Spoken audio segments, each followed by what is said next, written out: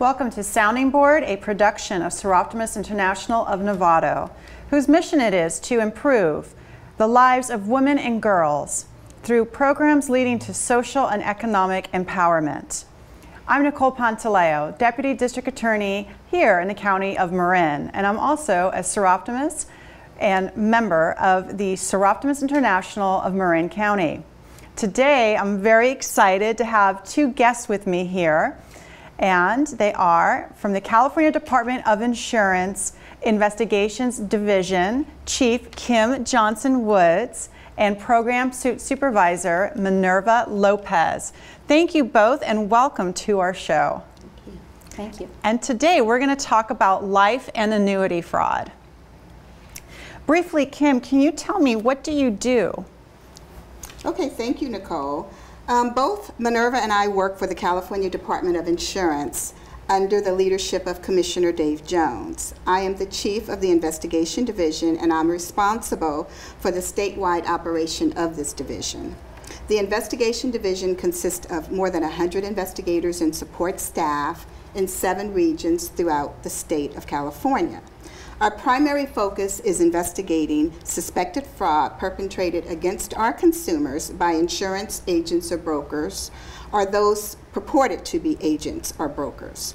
We investigate all lines of insurance, which includes but is not limited to life and annuity, auto, homeowners, bail, and title. The primary crimes that we encounter involve premium theft, forgery, identity theft, and financial elder abuse. Most of our complaints come from California consumers, the insurance industry, and law enforcement agencies. Our discussion today will focus on insurance fraud pertaining to life and annuities. The economic loss experienced for life and annuity cases we investigated in 2016 was in excess of $68 million, and that was an actual exposure. Wow, that's a lot of money. Yes, $68 million. Yes, it is, an exposure. Wow. Uh, but before we get too involved in this discussion, I want to let you know that our department licenses over 400,000 insurance producers. Those that we are going to describe here are a very small portion of our total licensee population. The vast majority of our agents and brokers do comply with our laws. Mm. Our cases are primarily prosecuted administratively and criminally. Administrative cases usually involve action against a license and are prosecuted by our in-house attorneys. Our criminal cases are prosecuted by the local city attorneys district attorneys, the California Attorney General, and the United States Attorney General. Minerva Lopez is the program supervising investigator.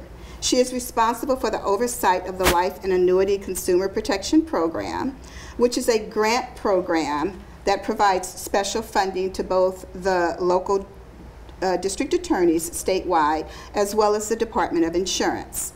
She's also responsible for special projects and overseeing sensitive investigations that span throughout the state.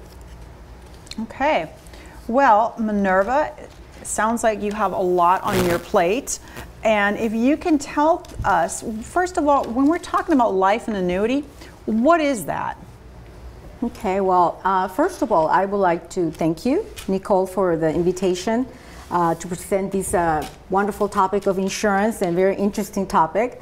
Um, so purchase, purchasing the right insurance uh, product, you know, it could be complicated, could be a challenging process, but um, it could also be one of the most important decisions uh, and ongoing purchases to make you, uh, your family secure and, and protect them from financial hardship. So stay tuned uh, because if you're thinking about buying or canceling a policy, an insurance policy, an annuity, or replacing one that you have, we all have different situations as we get older or different events in our lives when you get married, you have kids. Mm-hmm. So if you're thinking about those uh, circumstances and that impacts your, your the power of pur- your purchasing power, uh, we're gonna go over uh, how you can check on your agent and and your the insurance companies and such. Um, you asked me to briefly describe the what is life and annuity, right? Um, Sure. The basic two life policies, uh, life products are term and the cash value, the whole life insurance policies. Uh, so usually term, uh, de- depending as, as to if it is appropriate for you, it does not have a cash value, but it could be for a term of 5, 10, or 20 years.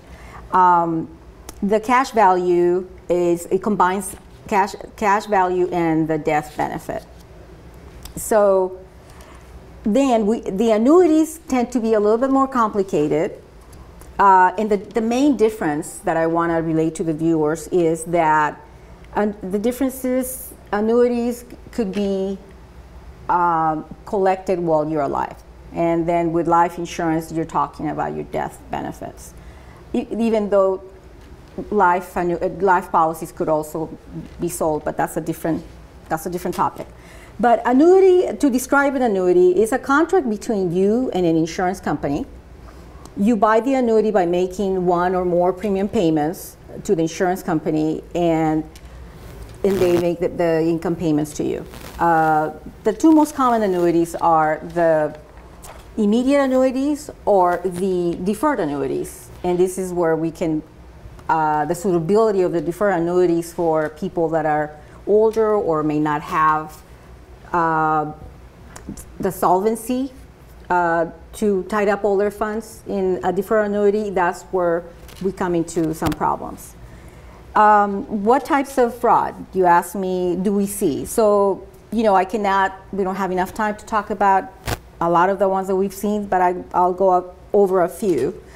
We see misrepresentations on, on these products because there's so many variations of life products like annuities and, and life insurance products.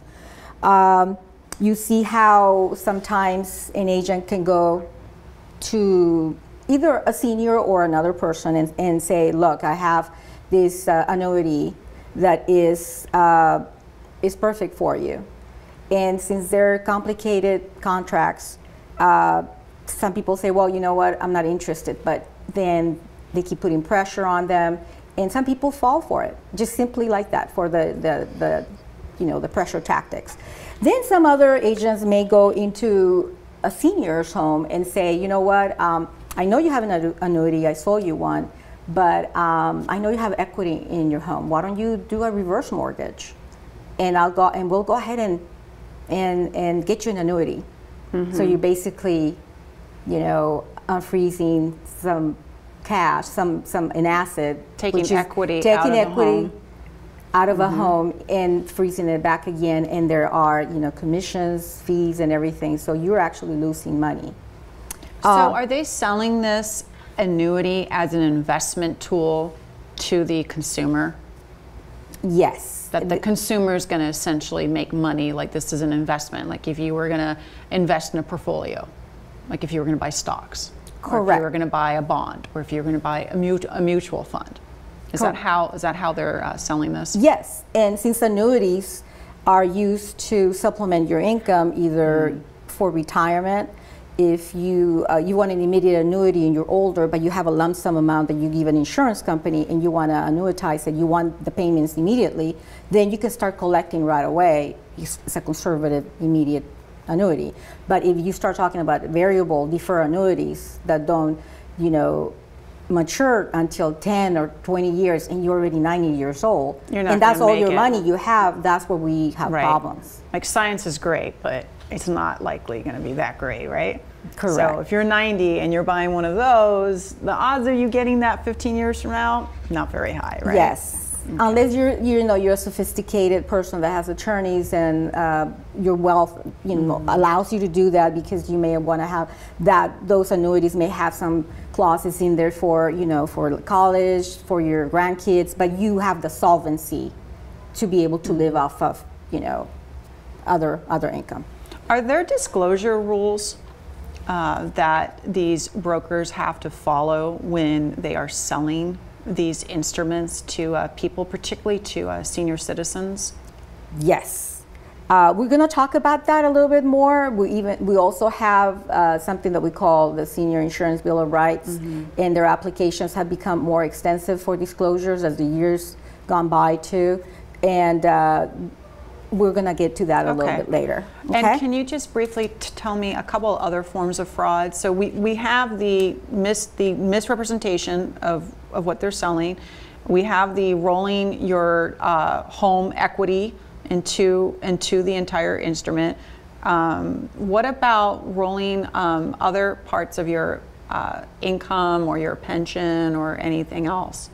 That, that happens too. We've seen it where some people have roll over their IRAs into an annuity. Mm-hmm. Uh, we see churning where you uh, the agent has sold already an annuity and goes into the same people over and over again and keeps saying, look, this is this, I have a better annuity and he comes with a bonus.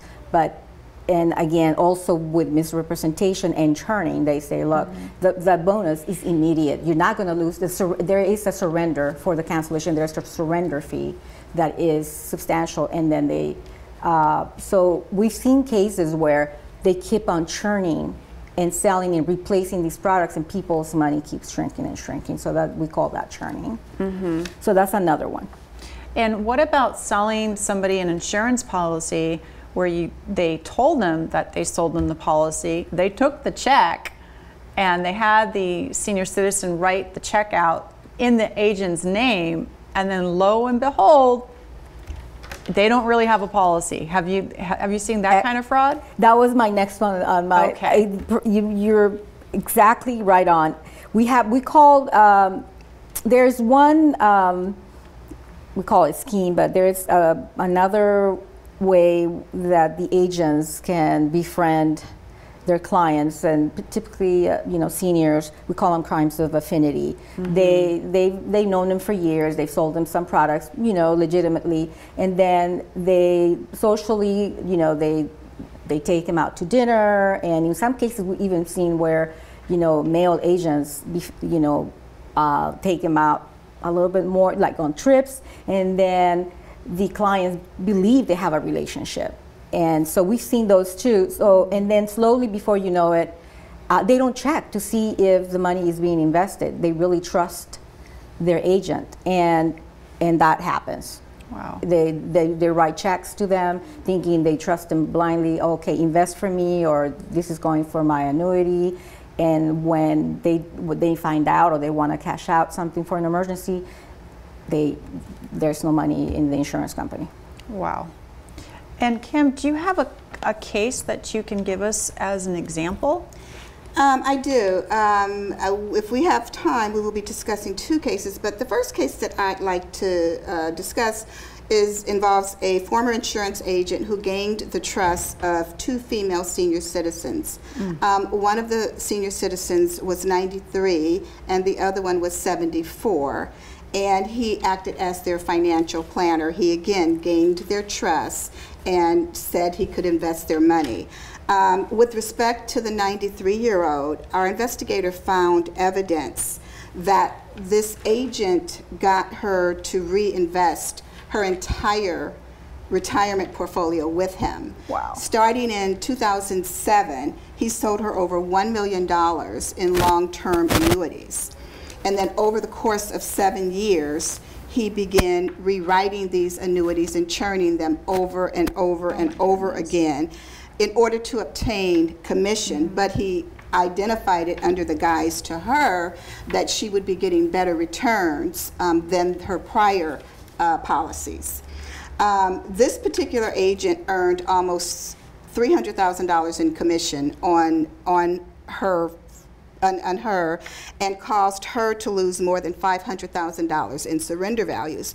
And what happens in these cases is when you do life and annuity, um, when they write life and annuity uh, policies, the agent only gets a commission when they first write it. So there's no renewal. They don't get a second year commission or a third year commission, unlike auto. So the only way they would get additional commissions on this type of product is by rewriting the whole thing and that's what typically can happen. Um, one of the other things he did with this particular victim is that he he received checks from her that were pre-signed, and he told her that he would be using them to do investments for her. But instead, he wrote checks um, in excess of eight hundred thousand dollars, and the checks were made payable to him or to cash. And the way it was um, discovered was because a very um, alert employee at the bank noticed that these large sums of checks were coming through her account, but they were being made payable to this agent or they were being made payable to cash. And so he, when we did our review, we found out that um, the money was never remitted to any insurance company and that he used the expenses for personal, uh, for personal gain, which included entertainment, um, travel, and gambling. He even bought a beachfront home Oh, in, nice. in, in Santa Barbara. How love! I would love dime. to have a home in Santa Barbara, wouldn't you? dime. Oh my yes, goodness! that was that was really horrible. Wow. Uh, but anyway, during the course of this investigation, um, the investigator discovered a second victim who was 74 years old, and she lost $80,000 in surrender uh, penalties, in lost premium, and in interest.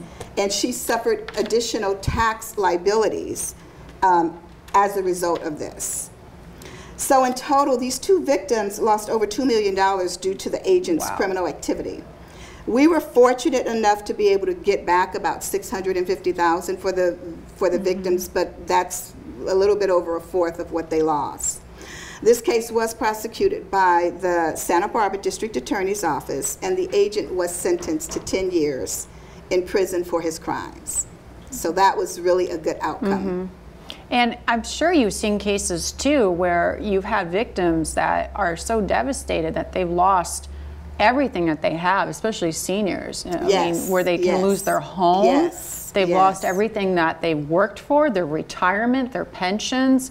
I mean, I can't imagine getting to the end of your career and the end of, you know, your your senior years where you're supposed to be enjoying the rest of your life and you're finally in your home in your retirement and, and you know you're supposed to be fishing and you know enjoying the great outdoors and whatever it is you want to do and all of a sudden you know some agent comes by and just does a, a scheme on like like that and just takes everything Yeah, and it's very devastating to those seniors, and it's Sure. heartbreaking for us to even, you know, when we're interviewing them, and we could we could feel their pain, and Mm-hmm. it's just it's devastating. yeah and did you have a case as well that you can briefly tell us about Yes, I'll, I'll be really brief, but you said something right now that, that is, I can't keep it to myself. Uh, the first case that I worked for the Department of Insurance, uh, the, it, the agent was sentenced to 30 years. Wow. Uh, and it's exactly for what you just said. The victims were so devastated, they lost everything, and we're talking about $25 million. And some of them d- did not even want to get out of their, their bedrooms. They were in depression. Uh, two of them died uh, because they had pre existing conditions, but they were so weak. And so when we lined them up in court for, for they, they actually were the ones that made the difference because the offer on the table after the prelim was 15 years by the judge. But it's an interesting story, but that's another case. But quickly, I'll tell you about this case. This, this case uh, uh, that is more recent uh, is a licensed agent um, who lost his license because of these crimes. Uh, he decided that you know selling legitimate life policies and annuities was no longer as profitable as just pocketing the premiums, right? So, but he was doing a legitimate business and he was licensed. For, and he had a good book of business and people did not notice that um, he was a gambler. So he did prey on the seniors. So he one senior lost three hundred thousand dollars straight out, and many of them uh, were seniors. However, he also went into a company and pitched. Um, he did a sales pitch to them, so they so the fifteen employees could save money for their retirement. And he took approximately a million dollars from them. And those funds came from their bonuses, hard earned bonuses from the employees. Uh, so I'll tell you quickly about three of them. This is how the crime was, was uncovered. Uh, one 51 year old female and wanted to cash out, like within a few years, wanted to cash out her annuity because she wanted to buy a home. Hello? She couldn't find her money. that's how she kept trying and trying, and that's when she realized they trusted this man and they never checked to see if the funds were remitted to the insurance company. A 62 year old man who worked there for a long time, it is like, okay, now it's time. I need this annuity should be mature. I'm not going to pay surrender fees. I need this money for my kids' college. The money's gone. Oh, uh, 67 year old man. Uh, all of a sudden, he had an annuity and uh, uh um, disability insurance. He goes, he's disabled now. He can't work.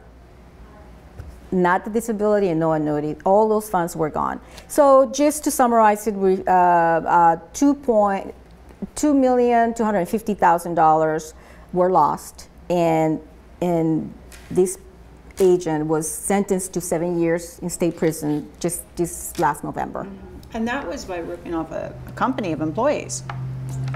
And different and, yeah. individuals, correct. Right. So it just shows that anyone can be a victim, and it's not just senior citizens. I mean, you have to watch out no, no matter who you are, right? Correct. So, and that brings me to um, another group of people that um, I care very passionately about, and I'm sure our viewers do as well. Have you seen life and annuity uh, fraudsters tar- target our uh, veterans? Yes. In fact, just recently, uh, my boss uh, and I worked on requesting uh, approval from our commissioner to work in collaboration with the Institute on Aging from San Francisco. They have a federal grant. And there is uh, a veteran's pension that is uh, for very low income uh, veterans and their beneficiaries. Uh, unfortunately, uh, they're connecting the, you know, it's a crime of opportunity, I guess. They're connecting the dots, and, and some of our agents um, they go and, and pitch this uh, this sale of annuity and sometimes they don't even tell them. They just go to veterans' homes and tell them, "Look, you may qualify for this pension," and and then they tie up their assets. Uh, mm. They either put them in an annuity or and or both, and they irrevocable trusts, just so they can qualify for these pensions. So, uh, which we, they may or may not qualify for, right? Most likely they won't qualify. Okay. If there's money to be hidden, most likely they won't qualify. So there's tax uh, liability consequences. Right. They have to give the money back if they qualify. So we are working together uh, with the Institute on Aging, and uh, this is something very important to the commissioner and to us as well. And they're also approaching, I heard, the uh, widows as well of uh, veterans yes. with the same scam. Yes. Okay. So some good advice is check with the VA. Yes. Check with your financial advisor. Be really careful before you tie up those uh, assets. And we do have now with this coalition with Institute on Aging and the Veterans Administration and some other groups, we do have it on our website, mm-hmm. uh, on the Great. senior portal. Please, there is a uh, an advisory. It's easy to follow, and you should be able to find information there. And we have a website as a group, uh, with uh, the veter- uh, with the Institute of Aging. We there, the link for that website is there in our on our Department of Insurance website. And Kim, can you tell us um, what are some red flags that we can watch out for so that we don't become victims of life and annuity fla- uh, fraud? And can you give us some tips okay, on how to protect ourselves? You know, what do I do if I have uh, an insurance agent come and, and talk to me and they're trying to sell me policy, trying to sell me an annuity, and I just want to make sure that everything's on the up and up and that this is legit and that I'm not going to fall into any of these horrible cases that you guys are talking about. Because, like you said, most of our agents are, are legitimate, they're good business people, they're following the rules. So we have to watch out for that percentage, that small, that small percentage that can do us a lot of harm. Exactly, and um, I have a few uh, red flags that I'd like to share with you and the viewers. Um, the first one is unsolicited visits from an agent. Um, by law, the agent is required to give a 24-hour notice when they want to go out and talk to uh, to senior citizens. And if you have an agent that just knocks on your door and wants to come in, make sure that you um, put up your guards because generally they're doing that because they want to catch you by yourself whereas you know there's no one there to give you information or to provide input or to to help with your decision making they want you to make the decision because they probably feel that you would make the decision that to buy the policy. Right. So um, that's one red flag. Um, the second one is high pressure sales tactics. Uh, if an agent comes in and they're too aggressive and you just feel like you are somehow being pressured, you know, you don't have to go forward with the transaction.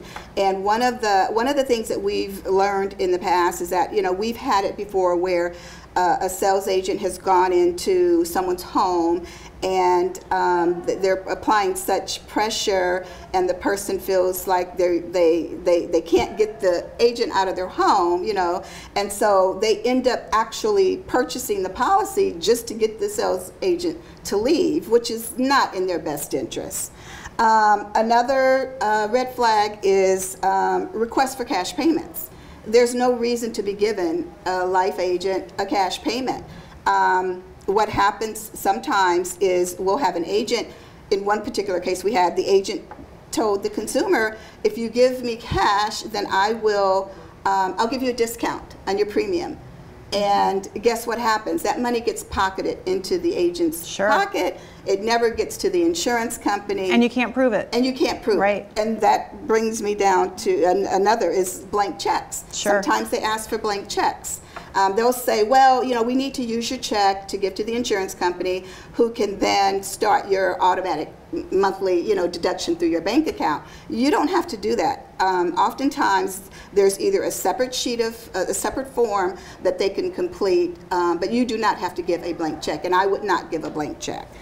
Um, also, there are times when when when you haven't received your policy yet, and you talk to the agent, and the agent is telling you, well, you know, the company's just, you know, a little bit behind. Just give me a couple of weeks, give me a couple of months, and you know, sometimes people don't follow up, and they never receive a policy. Well, if you Yeah. if you pay for a policy, you will always get a policy. Just if you pay for call them up, right? Exactly. Okay. Now, tips on how to protect yourself. One of the things we always recommend to our consumers is to contact our department, um, and you can determine the licensing status, and you can also determine if there's any disciplinary action against an agent. All that is available on our website, and our website is www.insurance.ca.gov.